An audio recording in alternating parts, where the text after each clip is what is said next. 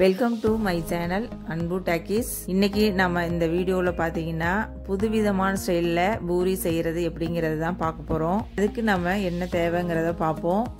கால் cup வந்து கடலை மாவு ரெண்டு கப் கோதுமை மாவு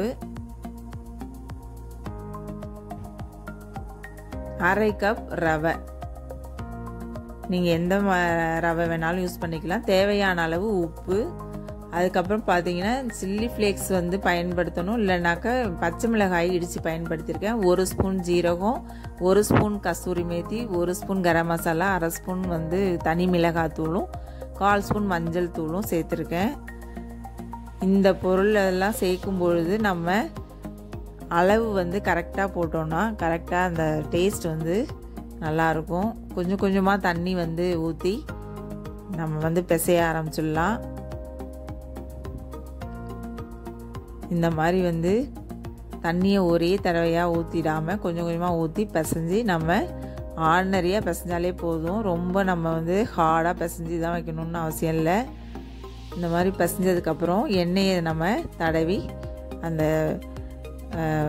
பிசைஞ்ச மாவை வந்து நம்ம நல்லா உருண்டையாக உருட்டியே நம்ம மூடி வச்சு பதினஞ்சு நிமிஷம் கழித்து திறந்து பார்க்கலாம். மேக்ஸிமம் பார்த்தீங்கன்னா பூரிக்கு சின்ன சைஸாக தான் எல்லோரும் உருட்டுவாங்க. நம்ம கொஞ்சம் அதை விட பெரிய சைஸாகவே ஒரு நெல்லிக்காய் சைஸ் வந்து உருட்டி வச்சிட்டோன்னா நல்லா வந்து தேய்க்கும் போது மொத்தமாக வந்து தேய்க்கிற மாதிரி இருக்கும். அப்படி தேய்ச்சா தான் நமக்கு நல்ல உப்பலான பூரி கிடைக்கும். இப்போ பாருங்கள் இந்த மாதிரி நம்ம வந்து தேய்ச்சி எடுத்துக்கலாம்.